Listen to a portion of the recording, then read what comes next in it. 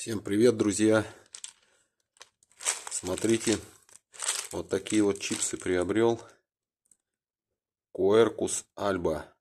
Американский белый дуб. Next Generation 455A. Это получается их обжарка. То есть она очень темная. Сильная, скажем так.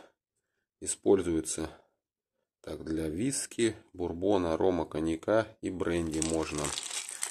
Так, что тут еще у нас написано?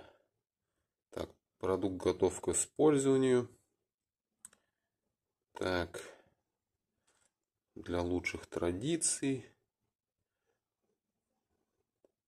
Качество. Так, в английском я не силен. Так. Так. Без ограничения срок хранения написано. Стопроцентные дубовые чипсы. Так, что тут еще написано? Best Barrel. Лучший бочонок. Так, металлическая крышечка такая алюминиевая.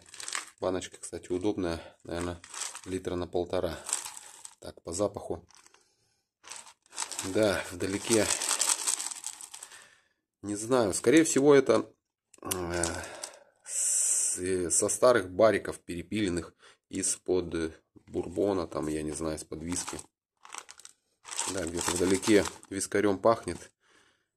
Такой дубово-вискарный запах.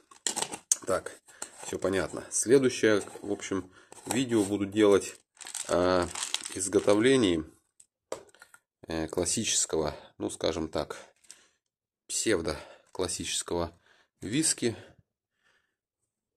приближенного к американскому. И буду уже настаивать на вот этих чипсах. Посмотрю под вакуумом, настаю, что получится. Ссылку укажу на магазин. Я на Wildberries приобретал 950 рублей, дороговато, конечно.